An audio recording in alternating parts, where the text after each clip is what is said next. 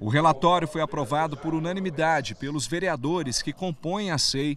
Aprovado, portanto, por todos os vereadores presentes, computando inclusive o voto do presidente.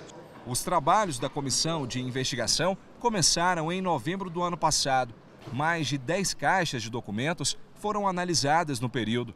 O relator explica que a SEI investigou a denúncia de que a Prefeitura de Caldas Novas teria cometido a apropriação indébita de parte dos salários dos servidores do município. Os valores referentes ao seguro de vida dos funcionários eram descontados em folha, mas não eram repassados à seguradora. Depois da, do não pagamento por três meses, automaticamente o contrato se encerra. Há uma cláusula contratual que diz, se não repassar o, não, ou não pagar a seguradora, o contrato se encerra. Acontece que ficou seis meses descontando e não passando. Repare que por mês eram descontados R$ 3,87 referentes ao seguro de vida dos servidores. Como o município de Caldas Novas tem cerca de 3.500 funcionários, durante seis meses a prefeitura teria ficado com cerca de 82 mil reais do funcionalismo. O vereador destaca que a comissão analisou somente a denúncia do seguro de vida, mas existem outras parecidas. Sindicaldas, é, Caldas Preve e empréstimo em consignação.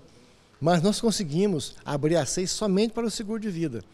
O relatório final agora vai ser lido em plenário para todos os vereadores e depois enviado para a Comissão de Finanças, Tribunal de Contas dos municípios e Ministério Público.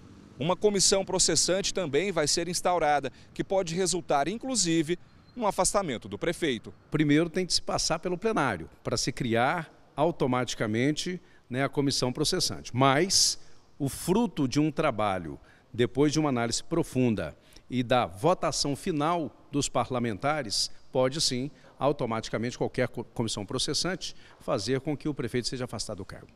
Não seria a primeira vez que o prefeito seria afastado. Desde que assumiu o mandato em janeiro de 2017, Evandro Magal já foi afastado do mandato em outras três ocasiões por decisões da Justiça.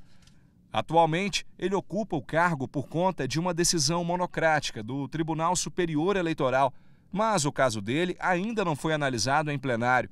Diante das novas denúncias e do risco de mais um afastamento, a população de Caldas fica preocupada com a administração da cidade.